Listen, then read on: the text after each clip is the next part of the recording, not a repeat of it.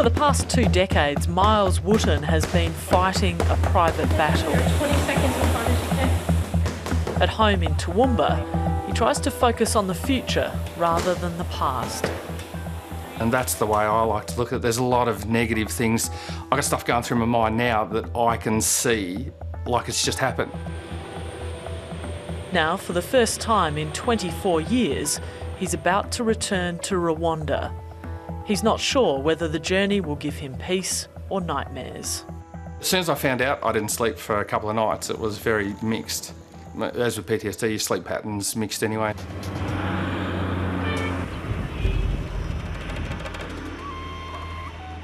Today, Kigali is almost unrecognisable. It's the peaceful capital of a thriving nation. Miles is full of nervous energy. Taken Miles 20 years to talk to us about it, and we haven't asked that much because we were a bit afraid of asking and what the answer was going to be. So um, it's only been the last three or four years we've actually started talking about it as a family. In 1994, more than 800,000 people were murdered in the Rwandan genocide. Ethnic hatred exploded into a frenzy of bloodletting. Australia sent more than 600 peacekeepers. They've been, by definition, deployed in some of the worst environments um, after some of the most atrocious massacres and had to provide, to, to bear witness to that and provide support and assist societies recover. Miles Wootten was only 21 years old.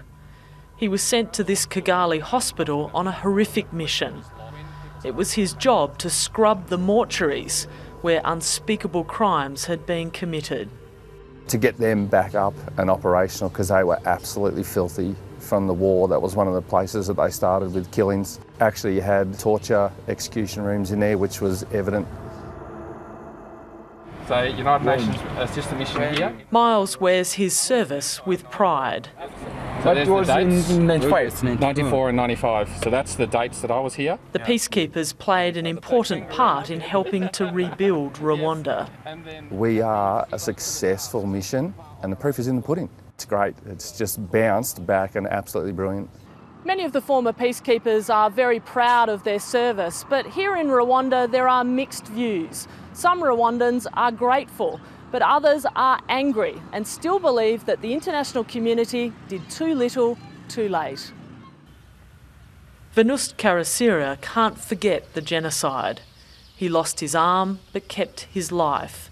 He was one of the few to survive when 3,000 people were killed here at Nyanza in April 1994. I tried to hide under the, the, the corpse, the dead corpse.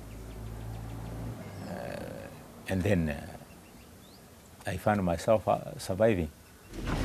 Violence has broken out in the Central African Republic of Rwanda. It started off, it was just the army doing the killings. Now it's spreading to everyone. What happened here was made into a harrowing film. There are people at the gate.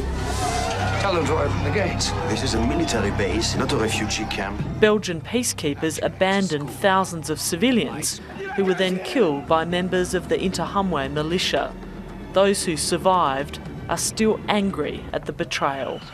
If you call yourself a peacekeeper and then there is no peace, what are you keeping? The first Australian peacekeepers didn't arrive in Rwanda until August, four months after the genocide, a fact that still haunts some of the veterans. That's not our fault that we got here late. Stupid governments, stupid UN. You know, I hate the UN. Um, focus your anger onto other parts. I, I understand. In a way, I'm angry we got here late. We could have, we could have helped. Um, we could have stopped a lot of it. Remembering the dead has become part of living for the people of Rwanda. This memorial holds some of the country's most brutal truths. For Miles Wootten, it's a disturbing place, especially the images of children. And seen the photos, which brought some of that back, and how, how, how do you do that? Um, not only how do you do that to a person, how do you do it to a child, like six months old? How do you do that? What he was saying is incomprehensible. How the humans can do that to other humans. And um, yeah, I, I, I struggle to think what those diggers went through.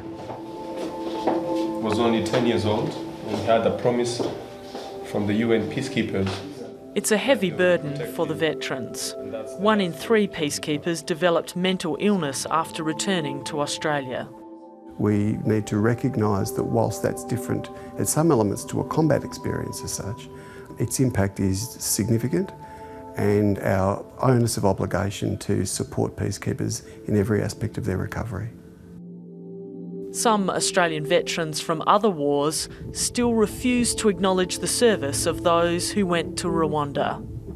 For Miles Wootten, that's what hurts the most. The job I did, we cleaned up a war zone. Y- You can't think of that. Everyone else went to war and walked away. We cleaned it. Come back and see me when you've cleaned one, mate. I'm very proud.